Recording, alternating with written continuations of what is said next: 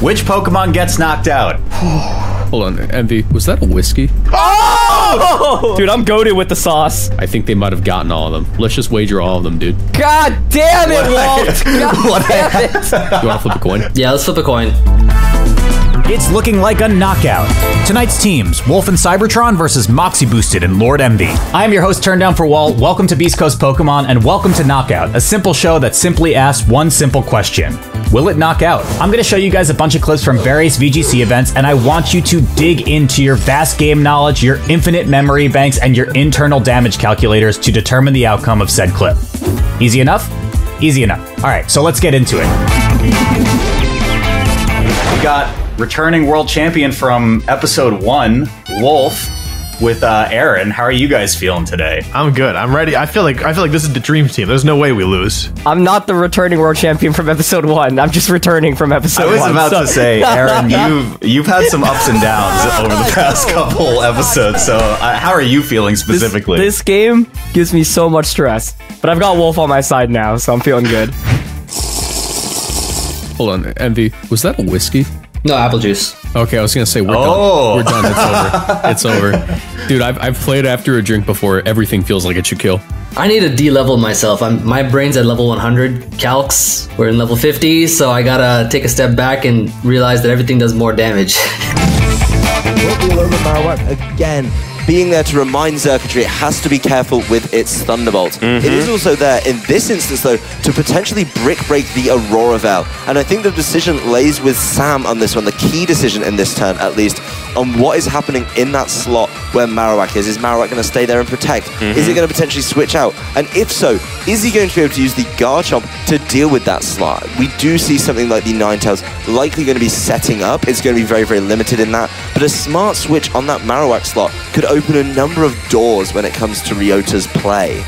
Yeah, it's going to come down to these early turns. Who can get the momentum here? Question one: Does Whimsicott knock out anybody? So this Whimsicott is Z Nature Power. Yeah. Was it this game where it was like Tapu Fini switches in and then uh, the Mandibuzz Mandibuzz switches switches in? in? Yeah. From my knowledge, Whimsicott is a Pokemon that clicks Tailwind, but I have also seen it run Choice Specs. I know this team. This is a very famous team. 2017, Ryota Otsubo won with a Normalium Z Nature Power Whimsicott. And that would turn it into a priority. Priority move because of Prankster. Mm-hmm. And I'm pretty sure on this turn, it gets turned into Moonblast, which allows it to attack before Aurora Veil can go up. So I'm pretty sure it takes the KO on Garchomp this turn. It does seem like it does seem like like Sam wouldn't just let Garchomp go down here, right? Yeah. You know what? I, I think my answer is no. You think? Okay, I'll go with you. No, we're saying no. Whimsicott does not pick up a knockout. This is, and, and the game's 1 1, and I'm pretty sure game one of this set is when the Garchomp picked up plus two KO on the opposing Marowak with Ground EMZ. So I'm pretty sure this is the game where we see the one shot with the Normalium Z, but I could just be making that up. It could just be me. He's good at Jeopardy. He's good at Jeopardy. I'll say yeah. Nature Power makes a lot of sense. Nature I'm, power. I'm going yeah. with it. I feel it. Yeah, I did switch. Okay, Emvee, we might have messed up.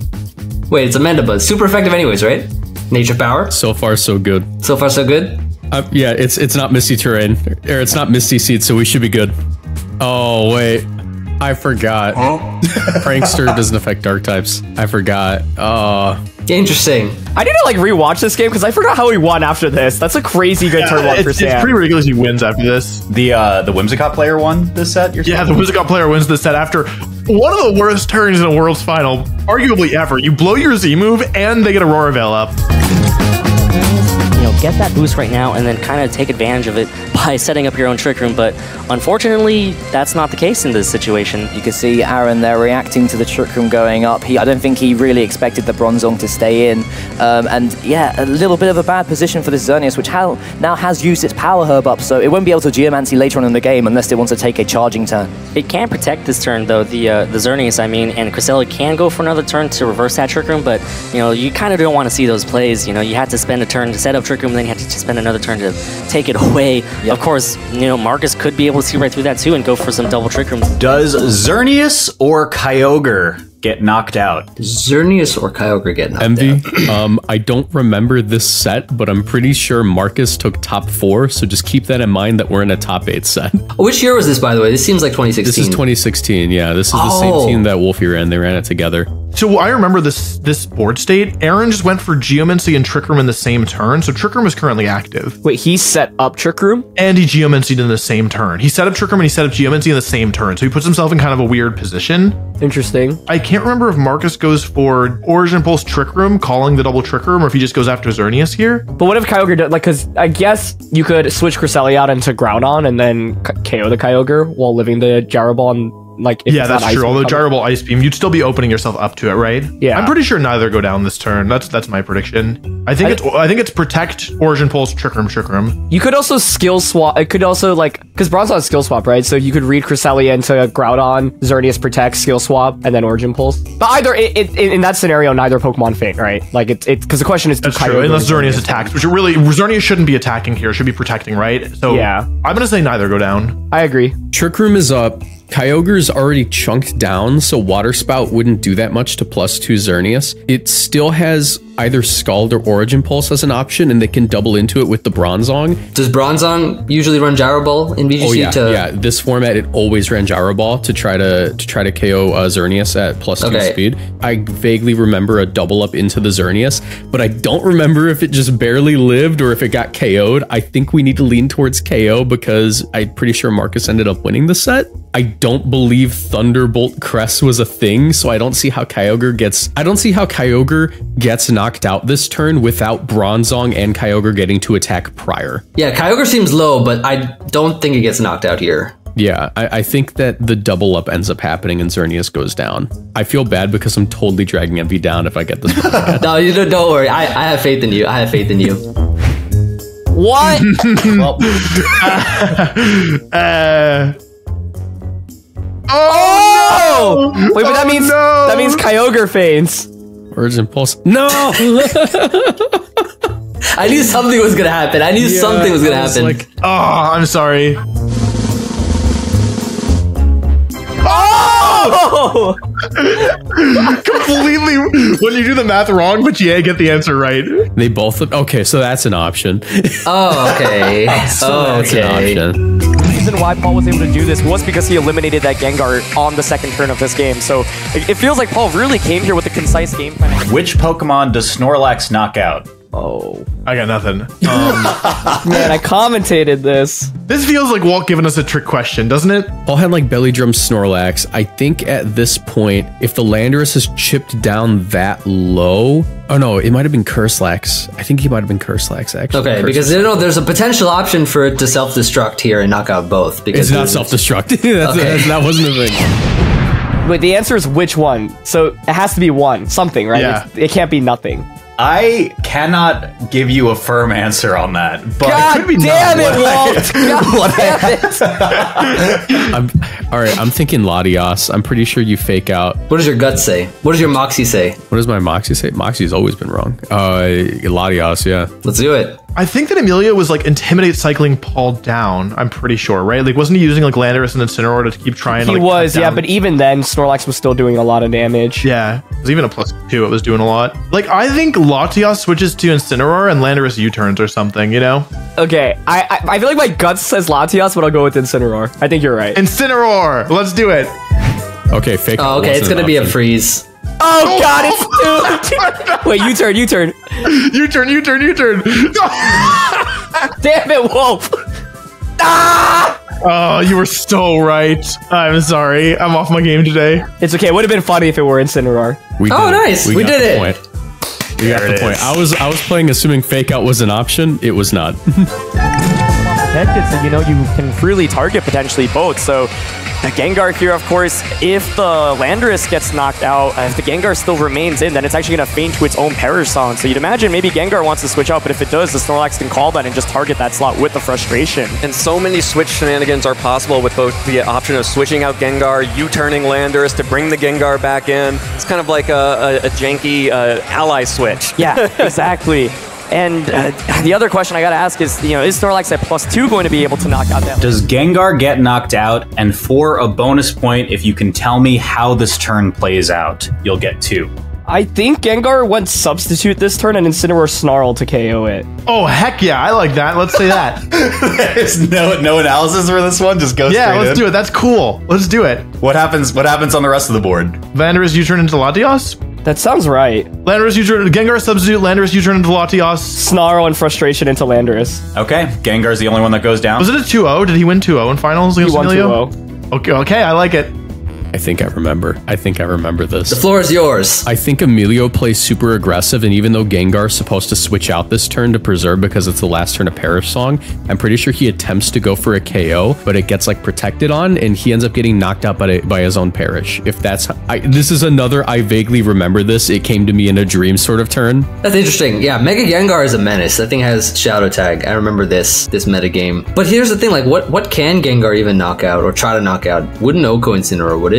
It's got it's got Lando next to it. I think mm-hmm. Sludge Bomb into U-turn, depending on. I think Paul was also safety goggles and Sin. I think that would do it from this range. Perish Song's active for everyone right now, I guess, right? Yeah, Gengar, if it if it attacks this turn, it drops regardless because Perish Song KOs it. So I think Gengar, if it stays in, it it, it dies. So I think that we just say it it goes down. I think it goes down. I think it goes down because the last Pokemon's HP was really low, didn't go down, and the last this Pokemon's HP is low, it does go down. I think that Gengar just survives after sludge bombing into Incin. Incin survives as well, possibly the double up, and it dies to Perish Song. He seems quite educated on this turn. Let's lock it in. Not. This is. I'm not. I, this is. This is. It's all dreams and memories. Oh? Dude, I'm goaded with the sauce. Dude, I gotta say, you were goaded with the sauce. I would have said Gengar switch Landorus U turn, high horsepower Landorus, kill the Gengar. That's what I would have guessed. Oh, look at Paul. He's pogging out. Oh, he snarled. Oh!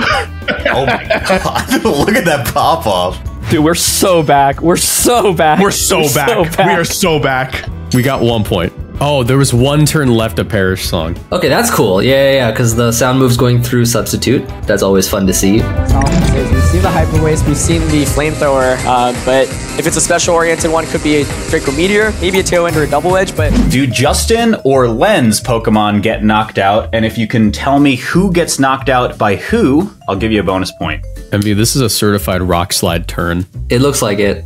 Oh, I remember Tyr- Tyranitar like survives here. I think. If you tell me this Tyranitar fainted, I would call you a liar. This Tyranitar will never faint in its life.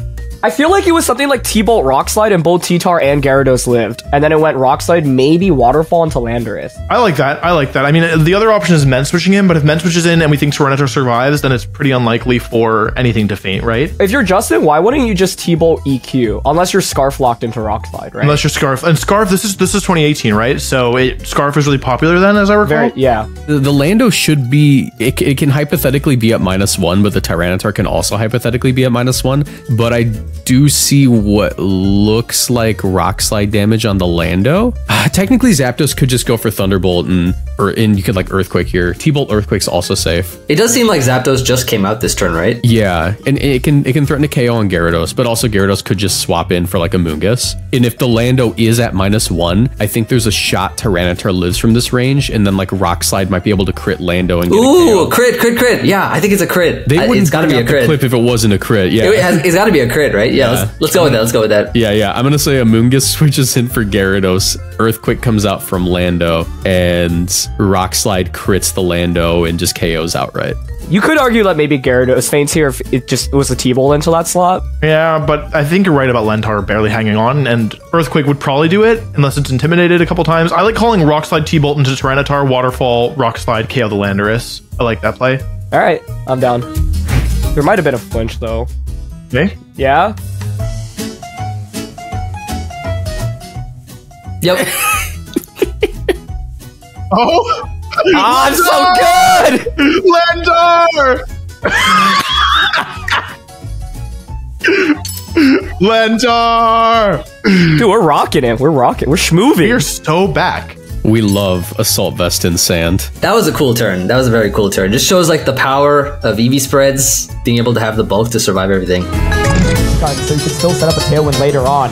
uh, once Conkeldurr faints here. So I think Marco is actually in a tremendous position, and this is one of the reasons why Conkeldurr has been such a high priority pick throughout the course of this metagame, specifically for its ability to deal with Tyranitar, because you pressure with Mach Punch even after Tailwind, for example, expires. So right now I think uh, Marco can definitely click the Hyper Voice button with Sylveon. He has a bunch of decisions to go with with Conkeldurr. Can maybe swap out back into the Whimsicott, or maybe you just sacrifice it here so you get a free switch and back into the Whimsicott and get another Tailwind off and close the game off with Whimsicott and Sylveon. Does the Conkeldurr get knocked out? Okay, I, I remember Marco actually knocked out one of his. He he did self target himself in this finals. Oh yeah, I, I did watch this then. Yeah, I do remember that. There's four more turns of Sandstorm and it's burned. I don't think Sylveon runs Wish. But Conkeldurr could just drain punch its health Yeah, a that's, lot. that's the other thing. It could drain punch the T-Tar and get all the health back. It's one wait one sixteenth of for both, right? So two hundred seven divided by sixteen, it, it, it, it would be uh like just under thirteen. Does it round down? It rounds down, right? Oh, but but Ed but Ed doesn't know that, and maybe Marco doesn't know that in the moment. I don't know. It looks like it's gonna die, so it just has to survive, right? I believe in plot armor. I believe in plot armor. You want to flip a coin? Yeah, let's flip a coin. Let's just start guessing. Elgato means it dies. yeah, let's. No, it survives. It survives if it's Elgato. No, no, no. What did it, what did it land on? What did it, you're gonna you're gonna decide now? you need to get one wrong at some point. I'm tired of getting them wrong. It survives. Okay, cool. We're locking that in. He doesn't get to think about it. I think Conk survives. Wait, so doesn't it survive on one HP? Yeah, either way, like it doesn't matter how it survives. I think it's surviving. Either it's side drain punch or it's one HP'd. I'm down. I'm down to predict that it survives. Cause yeah, wait, burn and sand damage rounds down, not up, right? Yeah, it all truncates. Yeah. Yeah, so it's like just under 13 if you divide 207 by 16. So it should be 12 from sand and 12 from burn, Sure. so 24. So either way, it's surviving. Okay, cool. We, we say Kong we say Kong survives. If this is the self-target turn, I'll be so. Just play it. Play the clip. Uh. Okay, yeah, it. Nice. It has one HP. I swear, if this just barely gets KO'd. Oh, That was the side target. this was okay. Yeah. I knew it. Good. Good. I knew it. Typical Garchomp is your Z move Garchomp, and that just gets obliterated by a Blizzard. However, one way you can kind of walk your way around that is by protecting Garchomp. The question is, can Arcanine from Justin's and knock out that Celesteela with the Flare Blitz? It also uh, takes some Blizzard damage, so presumably I think yes. So unless this Garchomp has a way to survive that Ice type attack, like a Focus Sash, a Yache Berry, maybe an Assault Vest, Garchomp most likely will go down here and Which Pokemon gets knocked out? Emvee, I'm having an existential crisis. You're gonna have to answer this one because I just remembered that 2017 is about seven years ago. But I thought you have dreams. What happened to all those dreams you were having? Could it be Scarf Chomp or would we, it's zero zero and it doesn't sound like you know the item at this point. So it, I think it could be Scarf Chomp. It wasn't that common because like Z was so good on Yeah, it. Z Ground was so good. Everything's at risk of getting KO'd this turn, right? Because it's like Literally everything. Yeah. speed order would be Ninetales, assuming everything's max speed, like Ninetales, Garchomp, Arcanine, Celesteela, and then Ninetales could Blizzard. You could Blizzard Flare Blitz, theoretically potentially pick up a double KO. But if it's Scarf Chomp or AV or Yache or Sash, you'd survive and then get an EQ off. Remember back in 2017 when they gave you really cool info on screen during the match? Like, hey, did you know Arcanine's a fire type? Oh, yeah. I want to call Wide Guard Earthquake. I feel like,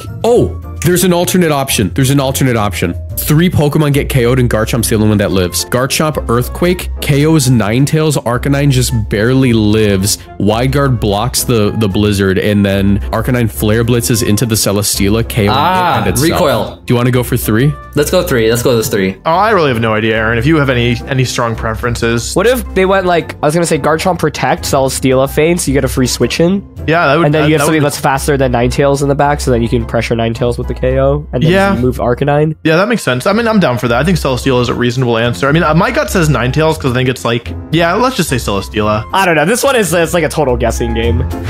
Oh, Oh. no. Oh! Survives. Survives Blizzard?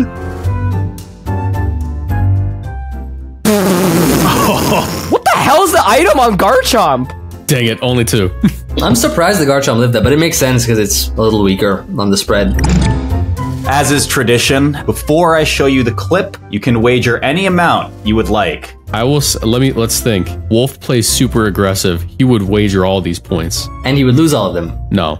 I feel like we're gonna win, right? We don't need to. We don't need to wager. You want to wager one? Try and make it eight out of eight points. Yeah, let's do it. Okay, we're wagering one. I think they might have gotten all of them. Let's just wager all of them, dude. and Sludgebomb into that Ninetales. Though Simone now also knowing that, hey, even if he did that play again, um, there's a chance that I just take the attack once again, set up Aurora Veil, and he was in an okay position. Hmm. So Alex, on the other hand, might now want to go for a Flare Blitz instead to, for, to secure that KO, or he could try to go after that Garchomp that protected in the first game. Yeah, this is a 50-50 choice on who he For a final point, does the Nihilego get knocked out by Garchomp? I'm gonna say no, and I know why. Oh, he knows. He had a dream. No, no, I don't know, but I know. I don't know, but I know. I know. I know the archetype. So even though we don't see what Pokemon is in the back, this is an archetype that was called Ban, and it was Bulu Arcanine Nihilego. You would run Grassy Seed on Nihilego uh, with a lot of bulk, and the Intimidate from Arcanine, along with the Grassy Seed and the Grassy Terrain, blocking damage from Earthquake. Because at this point,